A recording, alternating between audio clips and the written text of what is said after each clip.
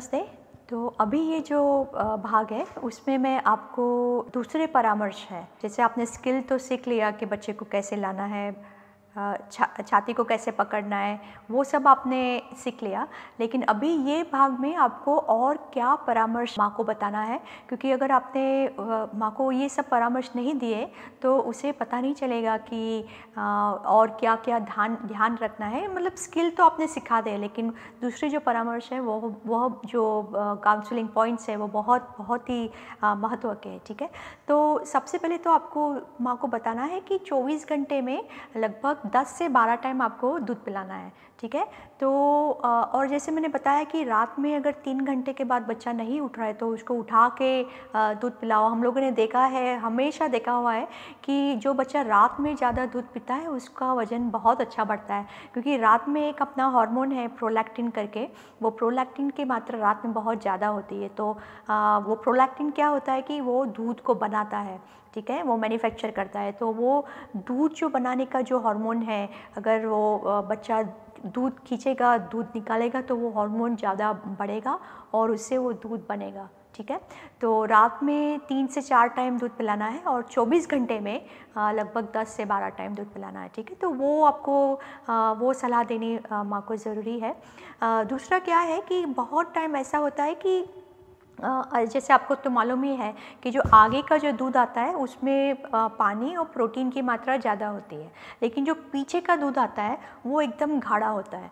ठीक है? तो गाढ़ा मतलब उसमें जो वसा होता है जो चर्बी होती है फैट होता है उसकी मात्रा बहुत ज़्यादा होती है ठीक है? और ये जो वसा है जो फैट है यू नो जो चर्बी है वो चर्बी है उसमें आ, कौन सी चर्बी है? बहुत अच्छी वाली चर्बी नेचर ने दी है। ओमेगा थ्री करके एक चर्बी है ओमेगा थ्री वो ओमेगा थ्री जो है वो बहुत ही ज़्यादा मात्रा में माँ के दूध में है। और वो जो ओमेगा थ्री चर्बी है, वो आपको मालूम ही होगा कि वो चर्बी बच्चे का जो मेदू होता है, वो जो ब्रेन होता है, वो वो ब्रेन के लिए बहुत ही महत्व की चर्बी है, ठीक है?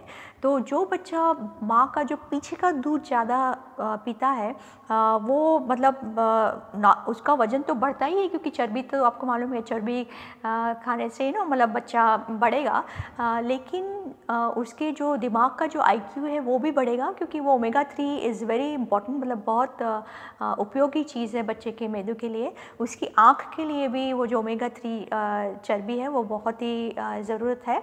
और बच्चे के जो हृदय है, हृदय के लिए भी वो ओमेगा थ्री बहुत ही ज़रूरी चर्बी है, ठीक है? तो माँ को बोलना है कि आपको जितना हो सके पूरा एक स्तन खाली करके फिर दूसरी बाजू देना है, ठीक है? तो माँ को अगर आप बोलेंगे कि एक बाजू स्तन खाली हुआ तो उससे पता नहीं चलेगा। कभी कभी वो क्या करेगी? वो बोलेगी हाँ हो गया। क्योंकि क्यों क्योंकि क्या हो रहा है कि वो दूसरा जो स्तन है जो भारी है उसकी तुलना में वो सोच रही कि नहीं ये अभी कम है। तो उसे हमेशा वो आ, इतनी वो शीज़ इन हरी कि मुझे अभी दूसरी बाजू भी दूध पिलाना है क्योंकि मेरा दूसरा स्तन भी बहुत बहुत दूध है उसमें ठीक है? लेकिन माँ को बोलो कि इतनी जल्दबाजी में वो बच्चे को ये बाजू से लेके दूसरे बाजू नहा ना लेके जाए। क्योंकि उसमें क्या होगा कि वो जो पीछे का दूध है वो पीछे का दूध रह जाएगा और बच्चे को आ, उसका वज़न बढ़ेगा नहीं। तो माँ को बताना है कि पूरा स्तन खाली करना है। और उसके लिए भी हम लोगों ने क्या किया है हम लोगों ने एक परामर्श में ये बिंदु डाला हुआ है कि अगर सपोज़ बच्चा छाती से छूट गया ठीक है? या तो बच्चा सो गया तो हम लोग क्या करते हैं? माँ को बोलते हैं कि बच्चे को निकाल के, वजह से मैं पे बताऊँगी कि कैसे बच्चे को निकालना है, लेकिन बच्चे को निकाल के उसको क्या करना है? माँ को देखना है कि वह छाती में पीछे का दूध है कि नहीं, ठीक है? तो उसके लिए भी एक बहुत अच्छी टेक्निक है। वो आपको मैं सिखाऊँगी कि माँ का दूध कैसे थोड़ा निकाल के देखना है। तो माँ को क्या करना है कि उसकी दो इंग्लिश से दूर वहाँ पे माँ के उंगलियाँ होनी चाहिए और वो क्या करेगी? ब्रेस्ट को थोड़ा पीछे की ओर दबाएगी, जैसे ये पीछे की तरफ़ मैं दबा रही हूँ मतलब जहाँ पे वो पसलियाँ है, वो बाजू की तरफ़ मैं दबा रही हूँ, और फिर उसको थोड़ा दबा के थोड़ा देख रही हूँ, ठीक है? लेकिन उसमें तीन तीन स्टेप्स है। कौन से तीन स्टेप्स है? पीछे की तरफ़ छाती के मतलब छाती की जहाँ पे पसली है, हड्डी है, वहाँ पे पीछे की तरफ़ पहले लेके जाना है, फिर अंदर की तरफ़ दबाना है और फिर छोड़ देना है। पीछे की तरफ़ दबाना है फिर अंदर की तरफ़ दबाना है और फिर छोड़ देना है, ठीक है? आपको ऐसा नहीं करना है कि ये ऐसा मिल्किंग नहीं करना है, ठीक है? क्योंकि अगर आप मिल्किंग करेंगे तो वो दूध बाहर निकलेगा नहीं, ठीक है? तो ये जो मिल्किंग बोलते हैं ना कि ऐसा मतलब बिल्कुल ये उंगली हिलनी नहीं चाहिए, ठीक है? उंगली छाती पे हिलनी नहीं चाहिए, ठीक है? ठीक है तो ये है अगर माँ ने सपोज़ दूध निकाला और उसे लगा कि वो जो दूध है एकदम पतला है यू नो एकदम फास्ट आ रहा है, बहुत बहुत मात्रा में आ रहा है, लेकिन पतला है। उसका मतलब ये थोड़ा सा मतलब घाड़ा नहीं है जैसे आपको मालूम है कि जैसे हम दूध गर्म करते हैं और अगर वो दूध में अगर पानी डाल दिया भैया ने तो हम लोग को तुरंत पता चल जाता है कि ये दूध तो पत्ता लग रहा है। ठीक है? अगर गाढ़ा होगा मलाई वाला होगा तो एकदम गाढ़ा होगा उसका रंग भी अलग होगा ठीक है? तो माँ को वो सिखाना है कि पतला वाला दूध जो है अगर आ रहा है तो उसका मतलब पीछे का गाढ़ा दूध अभी भी बाकी है ठीक है? तो बच्चे को वही तरह वही बाजू से दूध पिलाना है ठीक है? और जो आ, आ, अगर पीछे का दूध आ रहा है, लेकिन बहुत मात्रा में आ रहा है। मतलब बहुत दो तीन सैर आ रही है, बहुत ऐसा फास्ट दूध आ रहा है। तो फिर माँ को बोलना है कि वही बाजू से अभी भी उसको पीछे का दूध अभी छाती में है तो वही बाजू से बच्चे को दूध पिलाना है। ठीक है? तो वो तो हो गया आपका एक बाजू का दूध अभी हो गया। अगर आपको लगे कि, माँ को लगे कि अभी जो दूध आ रहा है गाढ़ा, लेकिन सिर्फ़ दो या तीन ड्रॉप्स आ रहे हैं, बहुत कम मात्रा में दूध आ रहा है तो वो टाइम पे आपको क्या करना है? माँ को बोलना है कि अभी वो दूसरी बाजू बच्चे को लेके माँ को दूसरी बाजू बच्चे को दो स्तन देना ही है, ठीक है? देना है मतलब ऑफ़र करना है। माँ माँ को देना है। अगर बच्चे को भूख नहीं होगी तो बच्चा लेगा नहीं। अगर भूख नहीं होगी तो मुँह बंद कर देगा, वो मुँह ऐसे हटा देगा, वो मुँह खोलेगा ही नहीं, ठीक है? लेकिन वो बच्चे को सोचने दो कि उसको भूख है कि नहीं। माँ को तो देना ही है, माँ को ऑफ़र करना ही है, ठीक है? जैसे हम लोग भी जब भी किसी के घर में जाते हैं तो हम लोग को भी जब भी खाने बैठते तो सब लोग बोलते नहीं, खाओ खाओ खाओ राइट अगर आपको भूख नहीं है तो हम नहीं खाएँगे। लेकिन वो तो हमेशा हम लोग को ऑफ़र करते हैं। उसी तरह माँ को अपना स्तन बच्चे को ऑफ़र करना है, ठीक है? तो ये तो हो गया आपका कि आगे का दूध और पीछे के स्तन का दूध का इम्पोर्टेंस ठीक है? अभी क्या हो गया कि सपोज़ बच्चा यहाँ पे सो गया। आपने बच्चे को एक बाजू से दूध पिलाया और वो सो रहा है, अभी एकदम सो गया है तो आपको बच्चे को तुरंत ही जगाना है। क्योंकि अगर बच्चे को पूरा टाइम यहाँ पे लगाते रहेंगे, बच्चा सो रहा है और आपको लग रहा है, नहीं, बच्चा थोड़ा दूध पी रहा है तो उसमें क्या हो कि बहुत टाइम चला जाएगा और आपको बहुत टाइम तक वो ब्रेस्ट फीडिंग नहीं, स्तनपान नहीं कराना है, ठीक है? तो आपको तुरंत ही बच्चे को उठाना है तो उठाने के लिए आप क्या करेंगे? या तो उसके कान के पीछे थोड़ा आप उसका आप उंगली लगा सकते हैं। या तो उसके जो उसका जो स्पाइन है स्पाइन पे आप उसको थोड़ा गुदगुदी कर सकते हैं। या तो उसका जो पैर है, वहाँ पे भी आप थोड़ा उसको गुदगुदी कर सकते हैं। लेकिन वो सारा थोड़ा ये करना है, अगर बच्चा नहीं उठ रहा है तो आपको जो बच्चा है, जो स्तन पे लगा हुआ है, उसका जुड़ाव निकालना पड़ेगा। तो उसका जुड़ाव निकालने के लिए आपको क्या करना पड़ेगा कि आपकी जो माँ की जो छोटी उंगली है, वो उसके बच्चे के मुँह में उसको डालना पड़ेगा। और उसका जो सक्शन है, जो बहुत अटैच हुआ है, जुड़ा हुआ है, वो जुड़ाव को निकाल के वो बच्चे को बाहर निकालना पड़ेगा, ठीक है? तो ये इंपॉर्टेंट चीज़ है कि आपको ध्यान में रखते हैं। अगर आप बच्चे को ऐसे निकाल दिया तो क्या होगा कि माँ का जो निपल है, वहाँ पे एकदम लाल हो जाएगा और उसमें जख्म हो जाएगा, ठीक है? तो बच्चे को ऐसे खींचना नहीं है। उसका मुँह खोल के उंगली डाल के खोल के फिर बच्चे को बाहर निकालना है ठीक है? तो ये तो हो गया आपका आ, बच्चे को कैसे निकालना है। फिर उसको उठाने के लिए अगर बच्चा फिर भी सो रहा है यू नो आपने उठाया बच्चा फिर भी सो रहा है तो तुरंत उसको जैसे हम बर्पिंग कराते हैं ना, जैसे उसको डकार देते हैं, यही पोजीशन में आपको, जैसे मैंने पहले आपको बताया था कि बच्चे को कैसे उठाना है तो वही पोजीशन में बच्चे को लाना है, उसको बिठाना है आपकी गोदी में, ठीक है? एकदम बेसिकली अच्छी तरह उसको सपोर्ट देना है, पीछे से हाथ आप उसके पीठ पे रख सकते हो, उसको थपथपाने की ज़रूरत नहीं है, और आगे का जो हाथ है, वो कान के आगे आएगा, यहाँ पर गर्दन पर नहीं आना चाहिए, कान के आगे जो ये हड्डी है, वहाँ पर आना चाहिए, क्योंकि यहाँ पर गर्दन पर बहुत सारी जो वेसल्स है, ठीक है? तो वहाँ पे आपको नहीं दबाना है, गला नहीं दबाना है, यहाँ पे हड्डी पे हाथ रखना है और आपकी जो हथेली है, वो बच्चे के छाती पे आएगी, ठीक है? तो वहाँ पे पूरा बच्चे का जो, पूरा बॉडी का जो सपोर्ट है, वो आपकी हथेली पे आएगा। और फिर थोड़ा आगे जाके आप उसको बच्चे को थोड़ा आगे करेंगे तो क्या होगा, वो बच्चा तुरंत ही वो ढकार लेगा, ठीक है? और नॉर्मली क्या होता है कि जब ये जुड़ाव बहुत अच्छा है तो डकार लेने की ज़रूरत नहीं है। अगर बच्चा सिर्फ़ निपल फीडिंग कर रहा है तो निपल फीडिंग में आपको बच्चे को मतलब बहुत उसमें गैस होगा क्योंकि वो निपल फीडिंग सिर्फ़ निपल चूस रहा है। निपल चूसेगा तो बाजू बाजू में इतनी जगह होती है कि वहाँ से वो, आ, वो हवा चूस रहा है ठीक है? तो अगर बच्चे को ढक्का नहीं आ रही है उसका मतलब माँ को बोलो कि उसका जुड़ाव बहुत अच्छा था चिंता मत करो बिल्कुल ठीक है? लेकिन दो तीन मिनट तक उसको थोड़ा सा उसको आराम दो ठीक है? उसको थोड़ा रिलैक्स करो और फिर उसको थोड़ा आगे की तरफ़ झुकाओ और फिर उसको दो मिनट में अगर हो गया तो फिर उसका ब्रेस्ट फीडिंग हो गया, ठीक है? अभी चलो, ये हो गया आपका बच्चा वापस जग गया। एक बार बच्चा जग गया तो आपको माँ को बताना है कि यहाँ पे देख लो कि दूध है कि नहीं। अगर दूध नहीं है उसका मतलब वो अभी दूसरी बाजू बच्चे को दूध खिला सकेगी, ठीक है? तो ये तो हो गया आपकी अगर बच्चा सो गया तो क्या करना है? ये एक पॉइंट इंपॉर्टेंट है कि अगर बच्चे का नाक अगर दब रहा है तो बहुत सारी माताएँ मतलब ऑफ़ कोर्स उनको थोड़ा टेंशन हो जाता है कि माँ का, माँ यू नो नाक दब रहा है, नाक दब रहा है यू नो स्पेशली अगर स्तन बहुत बड़ा है तो अगर नाक दब रहा है, उसका मतलब ये है कि बच्चे का जो जो गर्दन है, बच्चे की जो गर्दन है, वो सीधी बच्चे माँ के स्तन पे आ रही है। तो अगर ऐसे सीधी आई तो अगर स्तन है तो स्तन बच्चे के नाक स्तन में दबेगा, ठीक है? अगर बच्चा ऐसे आ रहा है, जैसे मैंने बताया पहले तो नाक बाहर होगा और ये ठुट्टी और होठ अंदर हो होंगे ठीक है? तो अगर ऐसा हो रहा है आ, दूसरा क्या प्रॉब्लम है कि अगर बच्चे का नाक दब रही है तो कभी कभी उसका मतलब ये है कि बच्चे का जो गर्दन बच्चे की जो गर्दन है वो नीचे की तरफ़ झुकी हुई है ठीक है? अगर ऐसा होता है तो नॉर्मली क्या होता है? जैसे मैं आपको यहाँ पर बताती हूँ उस बच्चा ऐसे आ रहा है ठीक है? और बच्चा अभी उसका जो नाक है, वो निपल के ऊपर है, ठीक है? तो वो ऊपर होने के कारण क्या होता है कि बच्चे की गर्दन भी नीचे हो जाती है और फिर उसका नाक भी दबता है, ठीक है? ये गलत है। तो आपको भी क्या करना है, माँ को बच्चे को थोड़ा दूसरे स्तन के वहाँ पे लेके जाना है और फिर उसकी गर्दन थोड़ी ऊपर करनी है, ठीक है? तभी उसके मुँह में नीचे का काला भाग जाएगा और इसमें जब भी ऐसा होगा तो उसके देखिए नाक बिल्कुल बाहर की तरफ़ है, ठीक है? तो ऐसे आपको क्या करना है अभी? जैसे मैं आपको मेरे पे दिखा रही हूँ कि सपोज़ बच्चा अगर उसका नाक दब रहा है तो उसको थोड़ा दूसरी ओर लेके जाइए, दूसरे स्तन की ओर लेके जाइए।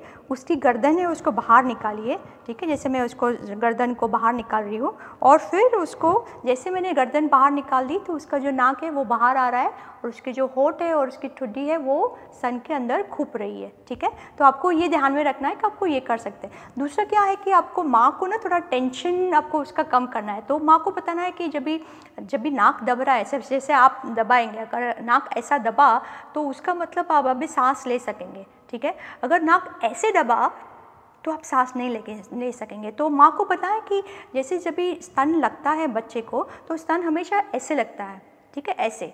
तो वो बच्चा आराम से सांस ले सकता है। और बच्चे की चिंता मत करो, वो क्या करेगा? जैसे अगर नाक उसका बंद हो गया तो वो बच्चा छोड़ देगा। वो बहुत बहुत स्मार्ट है वो, चालाक है, बिल्कुल चालाक है, ठीक है? तो माँ को बोलो कि थोड़ा इतना टेंशन मत करे, क्योंकि वो टेंशन करेगी तो वो ऑक्सीटोसिन लेवल नीचे हो जाएगा और वो जो दूध बाहर ऑक्सीटोसिन जो निकाल रहा है वो वो दूध निकलना कम हो जाएगा, ठीक है? तो ये सारी टेंशन माँ को पहले से बता दो कि ये सब करने की टेंशन करने की ज़रूरत नहीं है। अच्छी तरह उसको पोजिशनिंग सिखाएँगे, अच्छी तरह उसको जुड़ाव सिखाएँगे तो ये सारे प्रॉब्लम्स आपके सॉल्व हो जाएँगे, ठीक है?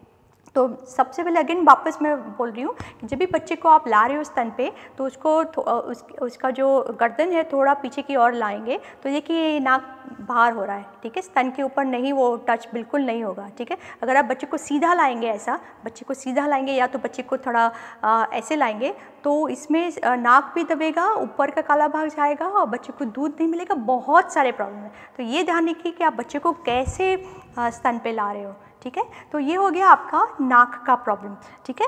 दूसरा एक प्रॉब्लम है आ, वो आपको ध्यान में रखना है कि बहुत टाइम जब भी बच्चा दूध पी रहा है और जब भी आप उसको जाँच रहे हो कि बच्चा स्तन सन से बरोबर जुड़ा हुआ है कि नहीं बच्चा दूध पी रहा है कि नहीं तो आप देखेंगे कि कभी कभी क्या हो रहा है कि ये जो आ, बच्चे के गाल है उसमें खड्डे हो रहे हैं। तो जब भी खड्डे हो रहे हैं, उसका मतलब कुछ ना कुछ तो प्रॉब्लम है। तो ज़रा तीन प्रॉब्लम्स हो सकते हैं। पहला वाला प्रॉब्लम कि अगर बच्चे ने सिर्फ़ निपल लैच किया तो अगर सिर्फ़ निपल लैच किया, सिर्फ़ निपल पे उसका मुँह जुड़ा निपल का और बच्चे का जुड़ाव है बच्चे के मुँह का तो वो निपल लैच से बच्चे को उसके खड्डे पड़ सकते हैं, ठीक है? सेकंड पॉइंट है कि अगर बच्चे का ऊपर का भाग अगर माँ का काला भाग गया बच्चे के मुँह में तो उसमें भी प्रॉब्लम होएँगे कि वो बच्चे को मुँह में खड्डे पड़ेंगे। मतलब अगर ऊपर का काला भाग एरेला का, ऊपर का काला भाग गया तो वहाँ पे प्रॉब्लम होगा, ठीक है? तीसरा पॉइंट है कि अगर बच्चा बहुत दूर है माँ से बहुत दूर है। जैसे मुँह तो बड़ा है, लेकिन उसके होठ दिख रहे हैं, उसकी ठुड्डी दिख रही है यू नो तो वो सारे जब भी आप जब भी एग्जामिन करेंगे, जब भी आप जांचेंगे और उसके होठ दिख रहे हैं, ठुड्डी दिख रही है, वो बच्चे का भी आप देखना कि उसके मुँह में खड्डे पड़ेंगे, ठीक है? तो ये तीन पॉइंट ध्यान में रखना है कि कौन से कौन से अगर प्रॉब्लम होंगे तो बच्चे के मुँह में खड्डे पड़ेंगे।